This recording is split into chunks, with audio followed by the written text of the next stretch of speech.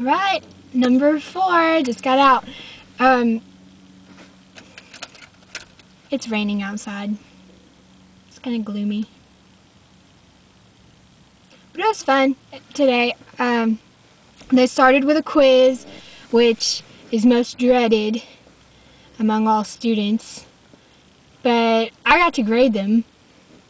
And, you know, that, it's a lot of fun putting pink X's on people's paper.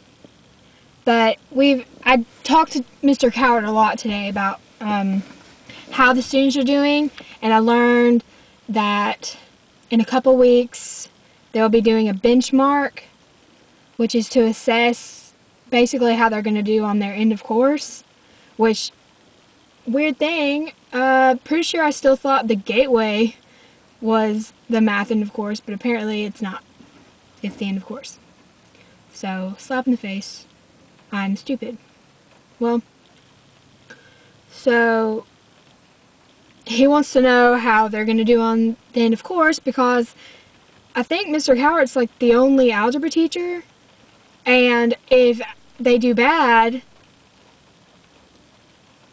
put two and two together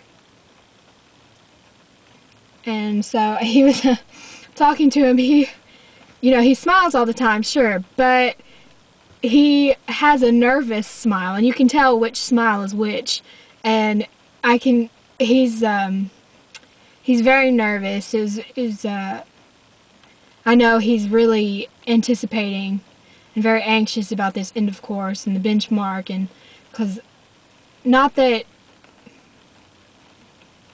I'll make a generalization. I don't think teachers get nervous about tests because they think that kids are going to do bad. They just, I don't know, we, they just want them to, I don't know, they just worry about it. And I can tell, so hopefully I'm going to be able to come in, the closer it gets to end of course, the more I'm going to be really, really helping, really. Like, he needs me. Like, he didn't tell me he needs me, but I could tell. I could tell. So, I'm important. Just letting everyone know. Um, they learned a lesson. I, I graded all the papers. it's really funny. Middle schoolers, these kids, they seem very mature, okay? I'll tell you that. If you knew them, like I knew them already, I know them pretty well, uh, they're real mature. However, that doesn't mean that they're mature. And uh, they, their main problem is they can't read directions. like, it'll say the slope is 3, and yet they put the 3 as the y-intercept. Which, I mean, it's easy to do, but if you read it, it's really easy to get it right. So, I don't know. Mr. Cowart might have been disappointed about that, but, you know, nervous smile.